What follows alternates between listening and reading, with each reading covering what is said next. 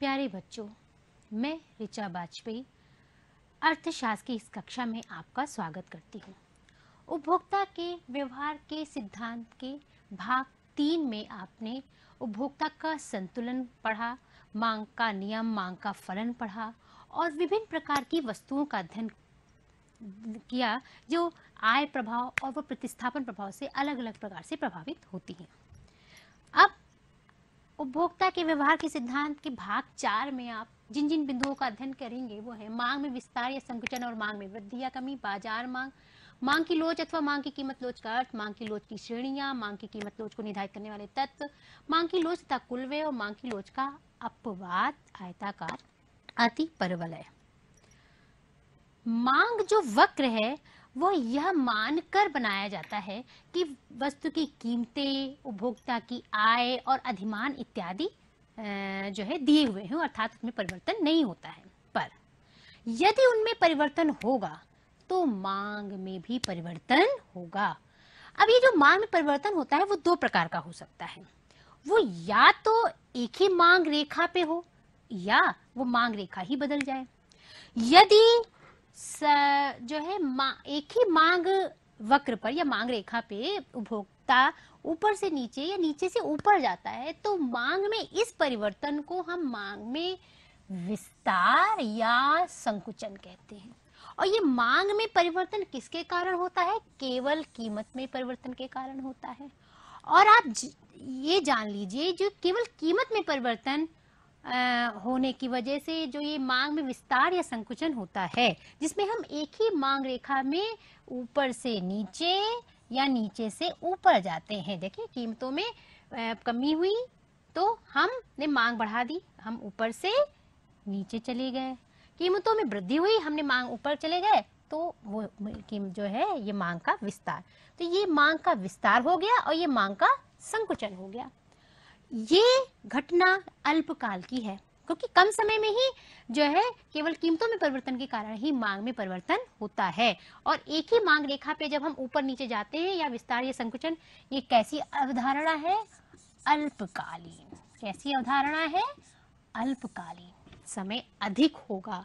अगर समय बढ़ेगा तो हाँ, उपभोक्ता की आय में भी परिवर्तन हो सकता है उनकी रुचियों अधिमान मतलब रुचियों में परिवर्तन हो सकता है और संबंधित वस्तुओं यानी कि जो पिछले अध्याय में आपने पढ़ा, संबंधित वस्तुएँ, स्थानापन्न वस्तुएँ, पूरक वस्तु, इनकी कीमतों में भी परिवर्तन के कारण अगर मांग में वृद्धि हो जाती, विस्तार और संकुचन कीमतों में परिवर्तन के कारण होता है। उसमें एक ही मांग रेखा पे रहता है।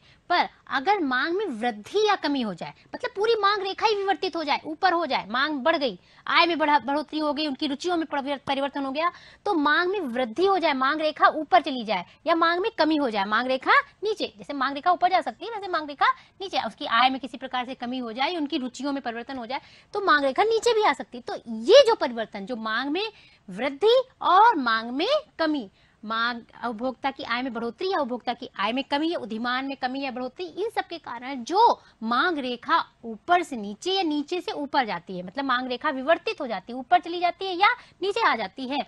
उस खिसकने को मांग में वृद्धि या कमी कहते हैं और ये कब होता है? इसके लिए लंबा समय चाहिए। ये अल्पकाल में संभव नहीं है। रुचियाँ आए। ये सब परिवर्तन के लिए लंबा समय चाहिए। इनके लिए इनके लिए दीर्घकाल का समय चाहिए, इसलिए ये दीर्घकालीन अवधारणा है और ये अल्पकालीन अवधारणा है, ओके? ये तो हो गई एक व्यक्ति की मांग। अभी तक तो जितनी भी आपने पढ़ा है, एक ही उपभोक्ता की मांग, वक्र, मांग, नियम, मांग का नियम, मांग, फलन, ये सब एक उपभोक्ता की बात है। पर किसी एक वस्तु की कीमत सॉरी किसी भी एक वस्तु की मांग केवल एक उपभोक्ता नहीं करता है।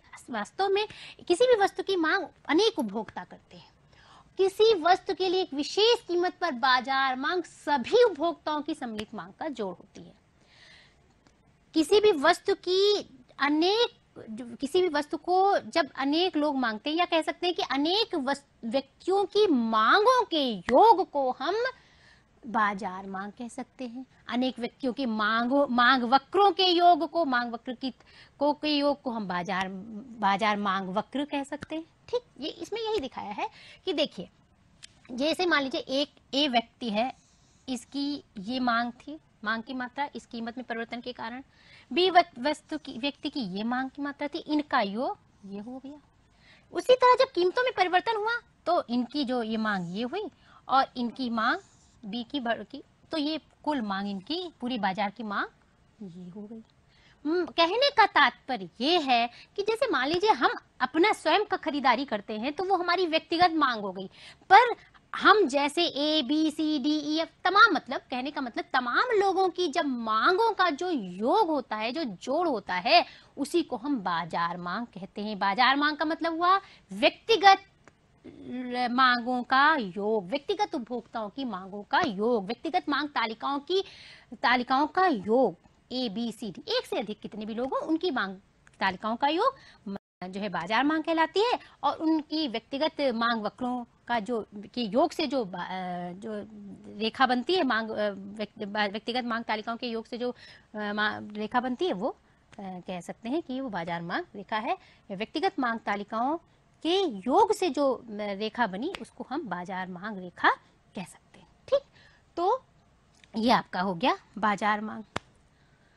अभी तक आपने जो पढ़ा, वो पढ़ा कि जो है मांग की कीमत, मांग वक्र, मांग का नियम क्या है? सॉरी मांग का नियम क्या है? मतलब मांग का नियम ये बताता है कि जब कीमतों में परिवर्तन होगा तो मांग में परिवर्तन होगा, ठीक?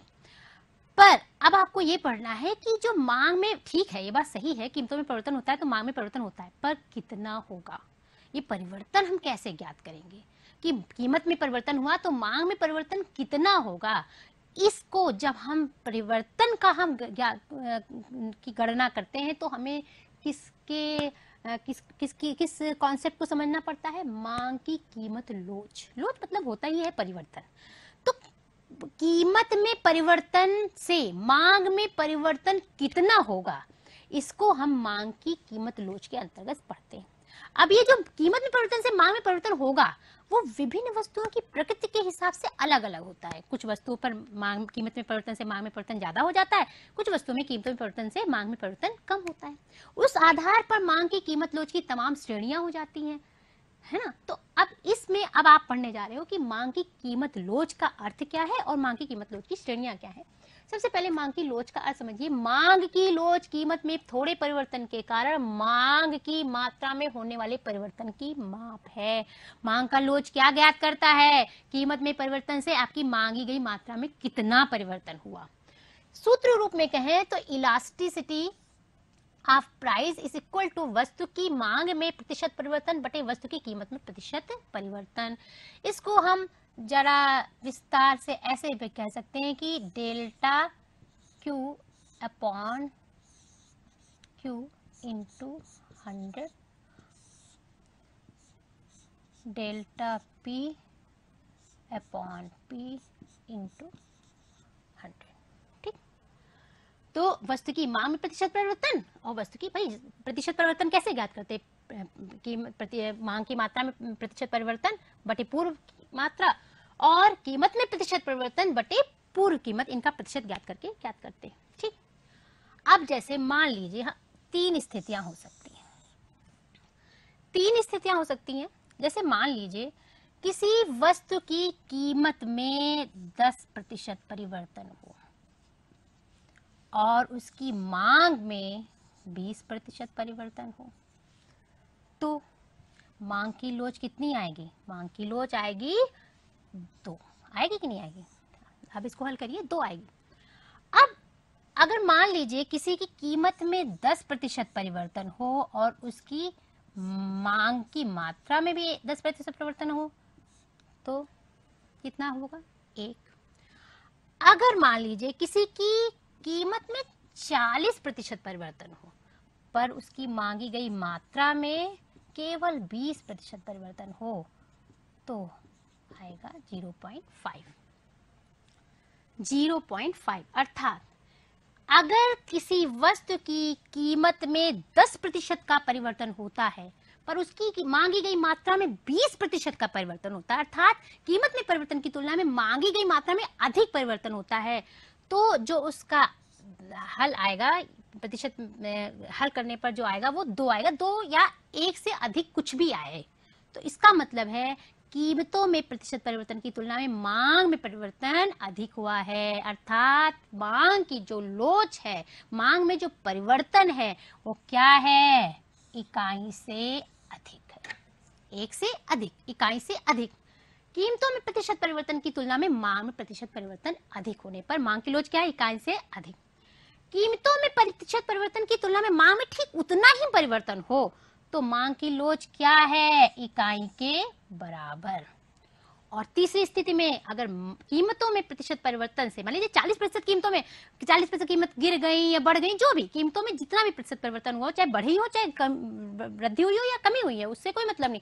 पर जो प्रतिशत परिवर्तन हुआ, उससे मांगी गई मात्रा में जो है, अधिक, सॉरी, कम परिवर्तन हुआ।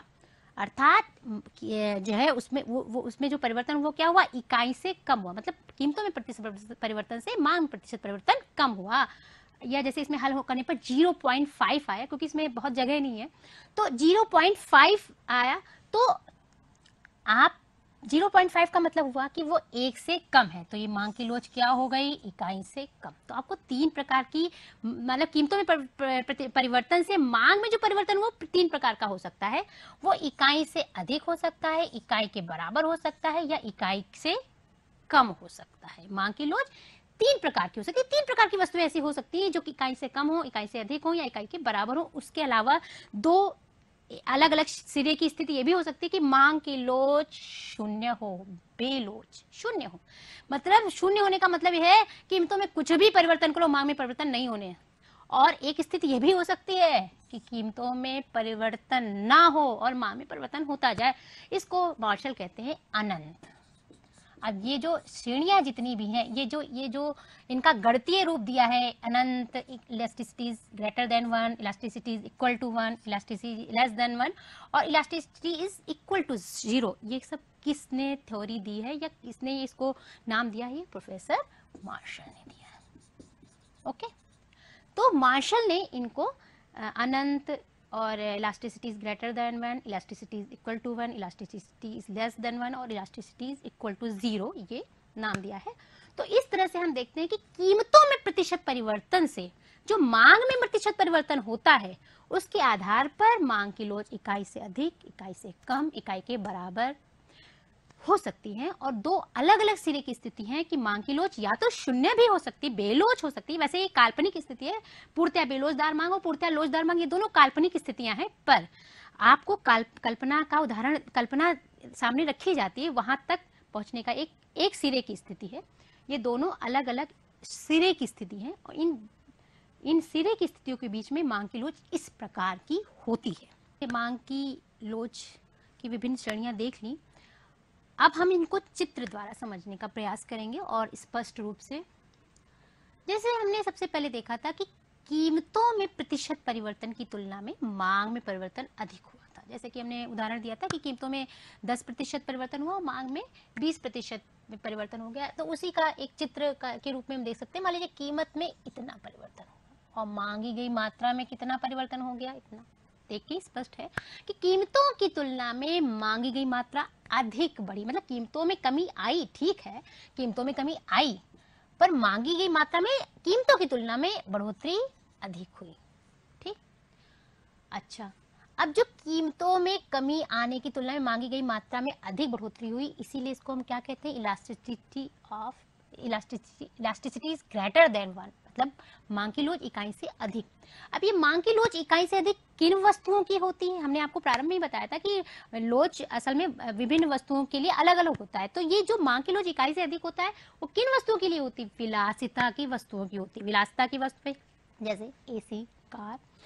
मतलब जो हमारे लिए ज़्यादा विलासिता वाली वस्तुएँ हैं, उनकी मांगों में ऐसा होता है कि कीमतों में थोड़ा परिवर्तन आता है और उनकी मांग में बहुत ज़्यादा परिवर्तन हो जाता है। जैसे कार वगैरह के दाम क्या लाखों में थोड़ा ना कम होते हैं? वो अक्सर करके जैसे कुछ होता है कि उनको अपना एडवर्टाइजमेंट करना होता है, ये कारों की बिक्री बढ़ानी होती तो वो पाँच दस हज़ार, बीस हज़ार, पच्चीस हज़ार, पर वो दस लाख की कार है, उसमें पच्चीस हज़ार देखा जाए तो बहुत थोड़ा है, पर उस बीस या पच्चीस हज़ार के लिए या कभी कभी इंश्योरेंस फ्री कर देते हैं तो इस तरह के दस बीस हज़ार रुपए के खर्चे पर भी उसकी मांग में बहुत बढ़ोतरी हो जाती है। ऐसा क्यों? क्योंकि वो एक विलासिता की वस्तु है और विलासिता की वस्तुओं की मांग इकाई से अधिक लोचदार होती है, ठीक?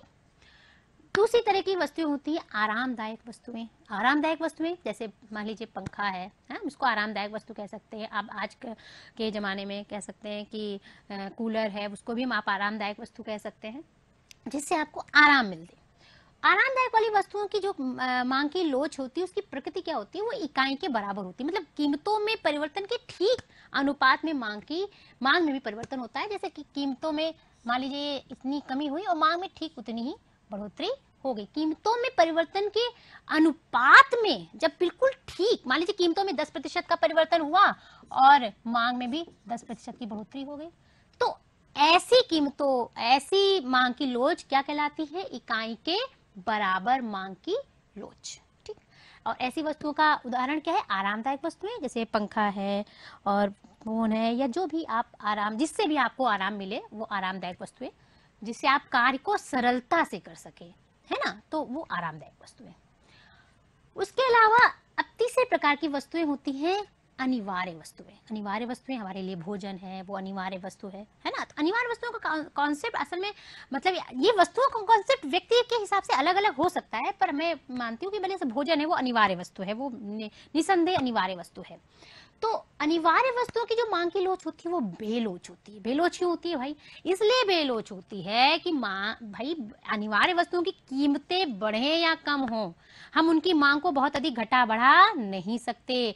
कीमतें कम होने पर हम उनको अधिक बढ़ा भी नहीं सकते। अबे कीमतें कम हो जाए, गेहूँ सस्ता हो जाए तो क्या हम दस दस रोटियाँ खाने भाई, जितनी हमारी डाइट है हम उतनी खाएँगे। या कीमतें कम हो जाएँगी तो ये भी नहीं कि हम आधी रोटी खाएँगे। अगर हम उसको अर्जित कर सकते तो एक गरीब से निर्धन से निर्धन व्यक्ति भी अपने भूख को क्षुधा को शांत करने के लिए अपने जो है गेहूँ खरीदेगा ही रोटियाँ खाएगा ही। है ना? तो कहने का मतलब है कि अनिवार्य वस्तुओं की प्रकृति ही ऐसी होती है कि इनमें कीमतों में बहुत परिवर्तन हो जाए। मान लीजिए चालीस प्रतिशत में परिवर्तन हो जाए, पर इनकी मांग में मुश्किल से पाँच प्रतिशत या और भी कम या दस प्रतिशत, ऐसी मतलब कीमतों की तुलना में इनकी मांग में कम परिवर्तन होता है। ये हो गई अनिवार्य वस्तुएँ, ठीक? अब आपने समझ लिया कि किस प्रकार से मांग की लोच वस्तुओं के आधार पर बदलती रहती है? तो अलग अलग सिरे की स्थिति भी हमने आपको बताई थी। एक स्थिति हो सकती है कि कीमत में कोई परिवर्तन ना हो और मांग कभी यहाँ कभी यहाँ कभी यहाँ। या कहने का मतलब ये है कि परिवर्तित होती रहे। और एक स्थिति ये भी हो सकती है कि कीमत में सॉरी कीमतों में परिवर्तन हो और मांग में कोई परिवर्तन ना हो। एक ये भी स्थिति हो सकती है कि कीमतें बढ़ रही हैं, घट रही हैं, पर मांग में कोई परिवर्तन नहीं हो रहा है। तो ऐसी जो मांग है, वो क्या कहलाएगी? बेलोच मांग। ये तो पूर्णता, बेलोचता। और ये पूर्णता, लोचता। ठीक है, इसको तो आप जानते ही इकाई से अधिक लोचदार मांग, इकाई के बराबर लोचदार मांग और इकाई के से कम लोचदार मांग। माँ एक ही मांग रेखा के विभिन्न बिंदुओं पर मांग की लोच भिन्न भिन्न होती है। एक स्पष्ट रूप से ये समझ लीजिए कि एक ही मांग रेखा के विभिन्न बिंदुओं पर, विभिन्न बिंदु मतलब अगर मध्य में है मांग रेखा के हम मध्य में हैं तो वहाँ मांग की लोच क्या होगी? इकाई के बराबर। अगर हम मध्य बिंदु से ऊपर जाते हैं तो मांग की लोच इकाई से अधिक होगी। मध्य बिंदु के नीचे जाने पर मांग की लोच इकाई से कम होगी। और वाई अक्ष को जहाँ ये मांग रेखा स्पर्श कर रही है, वहाँ की मांग की लोच अनंत होगी, है ना? और मांग की लोच जहाँ एक्स अक्ष को स्पर्श कर रही है, वहाँ मांग की लोच शून्य होगी। अर्थात एक ही मांग रेखा के विभिन्न बिंदुओं पर मांग की लोच भिन्न भिन्न होती है। कॉन्सेप्ट क्लियर ओके अब मांग की कीमत लोच को निर्धारित करने वाले कारक। मांग की कीमत लोच को विभिन्न कारक निर्धारित करते हैं। वस्तु की प्रकृति, वो आप पीछे पढ़ाए हो। वस्तु की प्रकृति के हिसाब से वस्तु जो है, विलासता वाली है, आरामदायक है, या कौन सी है? अनिवार्य है। तो विलासिता की है, आराम, आरामदायक है, या अनिवार्य है। तो विलासिता की है तो elasticity is greater than one अनिवार्य है तो इलास्टिसिटी इक्वल टू वन और बेलोच है तो elasticity is one elasticity is is less than one okay स्थानापन्न वस्तु की उपलब्धता स्थानापन्न वस्तु उपलब्ध है तो मांग की लोच अधिक लोचदार होगी। क्यों अधिक लोचदार होगी? स्थानापन्न वस्तु है, कीमतों में परिवर्तन होगा, हम स्थानापन्न वस्तुओं का प्रयोग करने लगेंगे। मतलब कीमतों में वृद्धि हुई, हम स्थानापन्न वस्तु का प्रयोग करने लगे और वस्तु के अनेक प्रयोग। अगर वस्तु के अनेक प्रयोग हैं तो भी मांग की लोच अधिक लोचदार होगी। क्यों? क्योंकि हम कीमतों में परिवर्तन होने के पर या कीमतों में वृद्धि होने पर उनके अनेक प्रयोग कम कर देंगे। कीमतों में कमी होने पर अनेक प्रयोग बढ़ा देंगे। तो इस तरह से मांग की लोच अधिक लोचदार होगी। वस्तु के प्रयोग को स्थगित किया जा सकता है। ज़ाहिर सी बात है, अगर हम किसी वस्तु के प्रयोग को स्थगित कर सकते हैं तो मांग कीमतों में वृद्धि होगी तो क्या करेंगे? हम प्रयोग को स्थगित कर देंगे। मतलब मांग की मात्रा घट जाएगी। अगर हम स्थगित नहीं कर सकते हैं तो स्थिति दूसरी हो सकती है। वस्तु पर उपभोक्ता की आय का कितना भाग व्यय किया जाता है, इस पर भी मांग की लोच आधारित होती है। अगर उपभोक्ता किसी वस्तु पर बहुत थोड़ा भाग व्यय करता है तो उसकी कीमतों पर बहुत अंतर नहीं वो पड़ेगा। भाई, वो वो एक प्रकार से वो बेलोच रहेगा। वो सोचेगा कि थोड़ा सा भाग व्यय करते हैं, कीमतें होने दो परिवर्तित हम तो जो खरीद रहे हैं, वो खरीदेंगे। और अगर हम बड़ा भाग व्यय करते हैं तो अवश्य ये बात ध्यान रखते हैं कि हाँ कीमतों में वृद्धि हुई है या कमी हुई है। संयुक्त मांग। जो संयुक्त मांग वाली वस्तुएँ होती है, उनकी जो मांग की लोच होती है वो कैसी होती है? बेलोचदार होती है। और समय का प्रभाव, समय अगर कम है तो लोच भी कम होगा।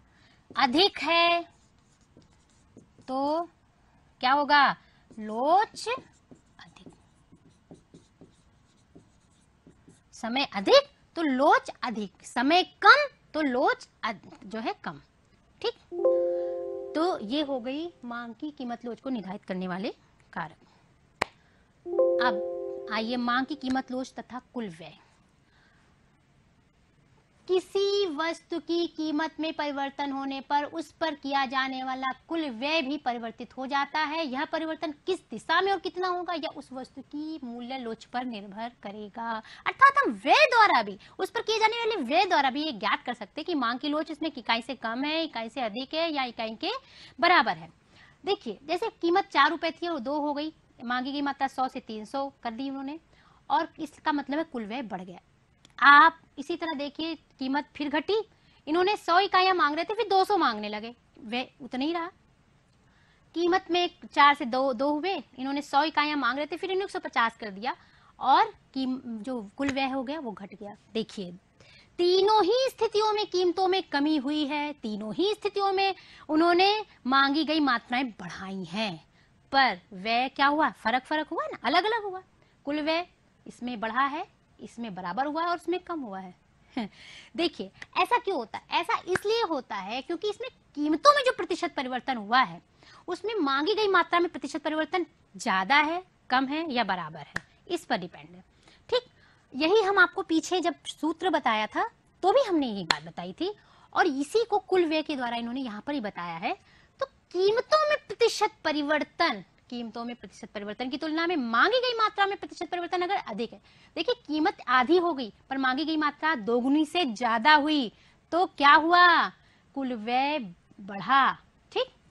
कीमतों में जब कमी हुई तो मांगी गई मात्रा कीमतों में कीमतें आधी हुई, मांगी गई मात्रा दोगुनी हो गई, इसका मतलब कुल व्यय कितना रहा? समान रहा। और कीमतें आधी हुई, मगर मांगी गई मात्रा दोगुनी नहीं हुई, दोगुनी से कम हुई तो इसलिए कुल व्यय कम हो गया। तो कहने का तात्पर्य यह है कि कीमतों में प्रतिशत परिवर्तन से अगर मांगी गई मात्रा में प्रतिशत परिवर्तन कम है तो मांग की लोच क्या होगी? बेलोच या इकाई से कम। ये क्या होगी? Elasticity is equal to one और ये क्या होगी? Elasticity is greater than one. समझ गई? तो कुल व्यय द्वारा भी हम इस प्रकार से जान सकते हैं। अब आए हम मांग की लोच के अपवाद पर। अभी हमने आपको बताया कि मांग रेखा पर, एक मांग रेखा पर यहाँ क्या होगा? सॉरी ठीक? मतलब एक ही मांग रेखा पर मध्य बिंदु में मांग की लोच इकाई के बराबर मध्य बिंदु के ऊपर मांग की लोच इकाई से अधिक, और मध्य बिंदु के नीचे मांग की लोच इकाई से कम होती है। अभी बताया। पर इसका एक अपवाद भी है। इसका अपवाद ये है कि ऐसे मांग वक्र जिनके प्रत्येक बिंदु अर्थात कीमत पर मूल्य लोच इकाई के बराबर होती है, को गणित में आयताकार अति परवलय कहा जाता है। आयताकार अति परवलय आयताकार अति परवलय वह रेखा है जहाँ मांग की लोच हर जगह क्या होती है? इकाई के बराबर। प्रत्येक बिंदु पर मांग की लोच इकाई के बराबर होती है। ऐसे मांग जिसकी प्रत्येक बिंदु कीमत का लोच मांग की लोच इकाई के बराबर होती है, उस, वो है मांग की लोच का अपवाद, ठीक? तो वैसे तो मांग की लोच का ये वास्तविक अपवाद है, पर आपको हम एक बात ये भी बता दें कि अभी आपको जो हमने अनंत के बराबर मांग की लोच और शून्य के बराबर जो मांग की लोच बताई थी वो भी एक प्रकार से मांग की लोच का अपवाद ही है। क्यों? क्योंकि इसमें सारे में अनंत है। मांग की पूरी रेखा पर अनंत के बराबर मांग की लोच है। और यहाँ भी पूरी मांग की, ये जो मान लीजिए मांग रेखा है तो इसमें भी सब जगह शून्य ही है। ठीक? तो ये भी एक प्रकार के अपवाद है, पर एक वास्तविक अपवाद हम ये कह सकते हैं कि ये मांग की लोच, जो आयताकार परवलय रेखा होती है, वो मांग की लोच उसके प्रत्येक बिंदु पर इकाई के बराबर होती है। ठीक? अब आज ये आपका अध्याय समाप्त होता है। चारों भाग इसके समाप्त किए जा चुके हैं। गृह कार्य के रूप में आप में मांग में विस्तार या संकुचन व मांग में वृद्धि और कमी में अंतर स्पष्ट कीजिए। बाज़ार मांग वक्र बनाइए। मांग की लोच का सूत्र लिखकर उदाहरण सहित स्पष्ट कीजिए। मांग की लोच की श्रेणियाँ चित्र द्वारा स्पष्ट कीजिए और मांग की लोच को कुल व्यय द्वारा किस प्रकार ज्ञात किया जा सकता है। आप ये अभ्यास कार्य कीजिए।